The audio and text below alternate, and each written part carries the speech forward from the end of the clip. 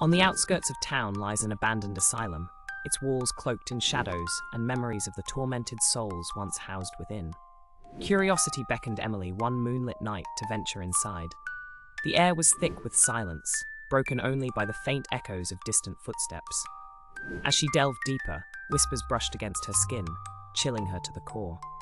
In a forgotten ward, she found old patient files, each telling a tale of despair and darkness. Suddenly, a cold hand grasped her shoulder, and a spectral figure materialized before her, eyes pleading for release from their perpetual anguish. Emily's heart raced as she realized the asylum held more than mere echoes. It held trapped souls. With a trembling hand, she uncovered a hidden truth.